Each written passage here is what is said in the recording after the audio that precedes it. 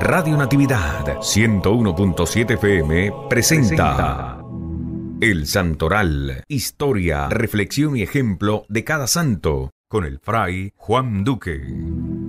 Hoy, 19 de julio, recordaremos a las santas Áurea, Justa y Rufina.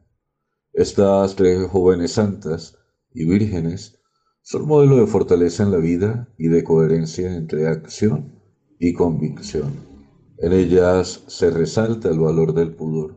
Como jóvenes vírgenes fueron grandes las pruebas que afrontaron para permanecer en esta virtud.